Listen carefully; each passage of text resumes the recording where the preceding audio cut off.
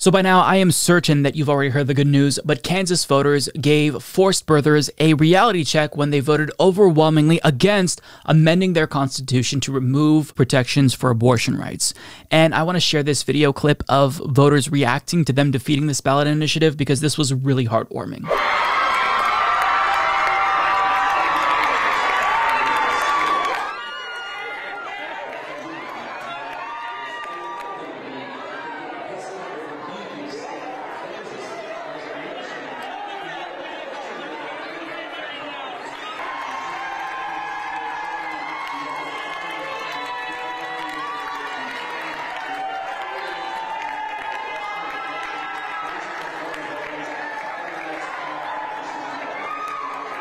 Know, we have uh, worked so hard for the past um, year, but you know, the last couple months to really, um, you know, communicate with voters about what this, what is at stake, and really what it, what was at stake was our constitutional rights and our freedom.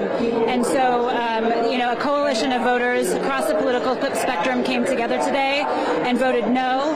They voted no um, to protect their neighbors. Um, they voted no on changing the Constitution, um, and really, you know, demonstrated our free state roots um, here in Kansas are alive and well. I'm super proud to be from Kansas tonight, and I feel like my state just showed up and boldly told me that they are going to take care of me and my female friends and everyone that can get pregnant in the state of Kansas. We are protected tonight.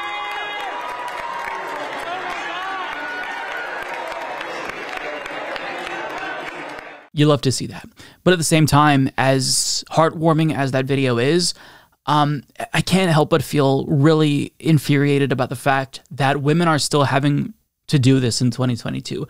This was a settled issue, but Republicans just couldn't let it go, and they decided that they want to intervene in women's lives, and now women once again are forced to be in this position to where they have to fight th for their own bodily autonomy, and that's infuriating, but at the same time, I don't want to take away from this victory. This is really huge news. And as Emma Vigeland puts it, Kansas should be proud today. Even before Roe was overturned, nearly half of all abortions performed in Kansas were for out of state individuals due to already draconian red state restrictions restrictions, Kansas cements itself as an oasis for border states like Missouri and Nebraska. And that is absolutely correct. Now, if you're one of the conservatives, if you're a forced birther who likes to hate watch this channel and you're perplexed as to why this ballot uh, initiative didn't go your way, stories like this like the one we're about to read now, explain why it didn't go your way. As the New York Times explains, Madison Underwood was lying on the ultrasound table nearly 19 weeks pregnant when the doctor came in to say to her that her abortion had been canceled.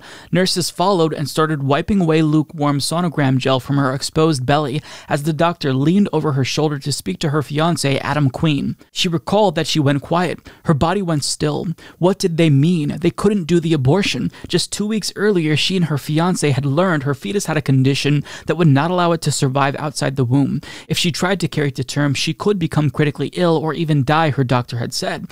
Now she was being told she couldn't have an abortion she didn't even want but needed. Quote, they're just going to let me die? She remembers wondering. Tennessee allows abortion if a woman's life is in danger, but doctors feared making those decisions too soon and facing prosecution. Across the country, the legal landscape was shifting so quickly, some abortion clinics turned patients away before the laws officially took effect or while legal battles played out in state courts. Now, we're talking about a young woman here who did not want to have an abortion. She was ecstatic about the prospect of one day becoming a mother.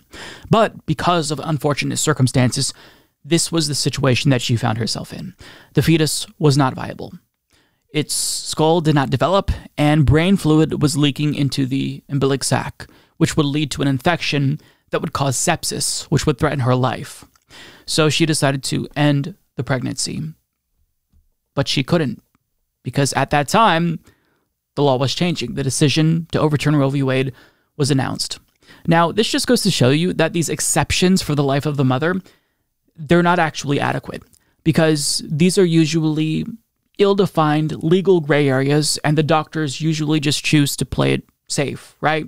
Or in some instances as we've seen in Texas, for example, they just uh, force the woman to provide them with an overwhelming amount of evidence in the event they are prosecuted. So, okay, the fetus is dead. Get an ultrasound. One more ultrasound. Okay, one more ultrasound just to be sure. This is what these exceptions for the life of the mother still put women through. They need full control over their bodies. So, because she couldn't get an abortion in her state, what did she do? Well, the doctor recommended a clinic in Georgia, but there's some problems with that. For example, Quote, how would her fiance get the time off work to make the trip? How would they come up with the hotel and gas money? How long did she have until she herself became ill? A new, more terrifying question hit her. What if she felt a kick? As stress on the couple mounted, Mr. Queen quit his job to take care of Miss Underwood. His mother raised $5,250 to help with travel costs from the crowdfunding website GoFundMe. The cash would also help pay for the fetus's cremation. Now, the reason why feeling the fetus kick for the first time was so terrifying to her was because she did not want to to have an abortion. She wanted a healthy baby. So that would just add trauma, knowing that, you know, this could have been something that she wanted. She could have been a mother, but it wasn't possible. So, you know, these were things that were going through her mind. Now, her parents, even though they were ultimately supportive, they disagreed with her and they actually thought that she should risk her life to have the baby just so that way she can meet the baby and hold it for a few minutes before it dies. Now, if that were my child, that's not what I would say. I, I would prioritize the health of my daughter, but that's not what they said. They ultimately, you know, they agreed that she should be able to do whatever she wanted, but they didn't think she was making the right decision. They wanted her to risk her life. But still, even if they ultimately sided with their daughter, they were confronted with the forced birther at the abortion clinic when they ultimately arrived in Georgia. And this exchange that her forced birther mother had with other forced birthers who were presumably more extreme really speaks to how unreasonable these forced birthers are. The Georgia clinic staff warned the family about protesters outside. As they pulled into the parking lot, they drove by a man with signs showing dead fetuses. Are all of you okay with killing babies? He shouted into a megaphone. He approached Mrs. Underwood's parents' car, and her mother rolled down the window. Quote, We're on the same side as you. Her mother said, We don't support abortion, but the doctor said our baby is going to die. Quote, You trust the doctors more than God? He replied. Wow. So there is no getting through to them. Yes, we should trust the doctors more than God because doctors exist and God does not.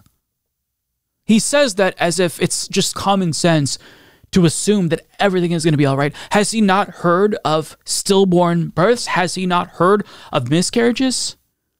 Again, he was speaking to somebody who agreed with him. She stated she agreed with him as he was yelling at her daughter as she had to put on headphones to go into the abortion clinic to drown out the protests. But this individual, still, nothing would resonate with him. And the mother agreed. She thought that her daughter should risk her life to have a baby, also, she can meet the baby. But the daughter didn't want to do that because obviously that'd be more traumatic. Like she she fell in love with the idea of becoming a mother. She didn't want to meet her baby, fall in love with it, and then say goodbye immediately. I, I mean, that's so cruel. That's trauma on top of trauma. So I mean, you can see how this woman's mother is far more reasonable than that forced birther who was protesting outside of the clinic. Because even she acknowledged that the baby wasn't going to make it, but he just thought, no, no, no, no, risk it. Doesn't matter. I don't care about the circumstances. You always have the baby no matter what. We prioritize the fetus over the mother's health. It's just truly ridiculous. So it goes to show you how unreasonable they are. But the reason why the Kansas story is so important is because it reminds everyone that not everyone is as reason- uh, unreasonable as that individual most Americans, even in deep red states, are not that unreasonable. Most people acknowledge that women must control their own reproductive health. Getting an abortion isn't as simple as, oh, well, I changed my mind. I don't want the baby anymore. Sure, maybe that's the case sometimes, but a lot of times we're seeing these horror stories about the way that abortion outlaws are affecting women who have miscarriages or women who have fatal fetal uh, defects and the pregnancy poses a risk to their own life. Like, we see the way that this affects women in a multitude of ways. So, to still support these bans after you see how disastrous they are speaks to how unreasonable you are. So, if you are against women controlling their own bodies, congratulations, you're fringe. You're part of the small minority of the American population that wants to uh, impose their minoritarian views on everyone else. But as you can see, voters are rejecting what you have to say.